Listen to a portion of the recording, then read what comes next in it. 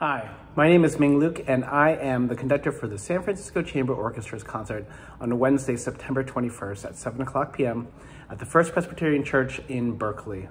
I couldn't be more excited about that week of activities. There are four music director candidates, and I'm sure you're going to see a completely different style and approach to the music for each of the days. So I urge you to check out all the concerts that week. For each of the music candidates, we've been asked to choose a piece that we think might be most appropriate for a San Francisco Chamber Orchestra. And when I th think about the San Francisco Chamber Orchestra, I think about its commitment to the community, uh, its accessibility, the free concerts that are there, and of course, highlighting the fantastic, talented musicians that we have in the San Francisco Bay Area. And so I wanted a piece that would highlight the musicians not only for their abilities, but who they are. And this piece that's going to be opening the concert is Jesse Montgomery's Records from a Vanishing City.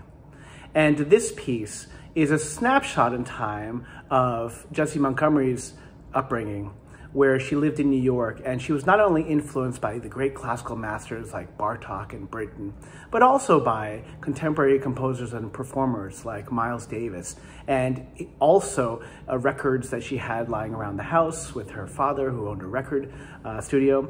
And one of those was an Angolan record that featured call and response that she loved. And the piece opens up with one of the first musical memories that I'm sure many of us had, and that is of our mother or our parents singing to us.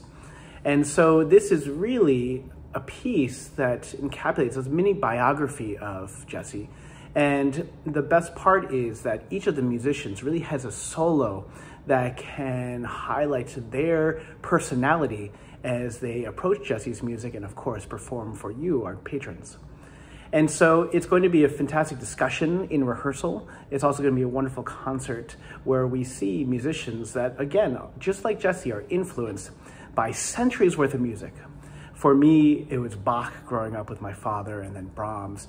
But just as much, I enjoyed John Williams from the movies. I enjoyed uh, Garth Brooks, country music star, Metallica. We have such a wide range of music available to us, and our music reflects that.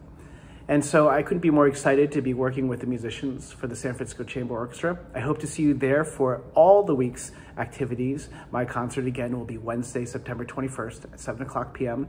First Presbyterian Church in Berkeley. Hope to see you there.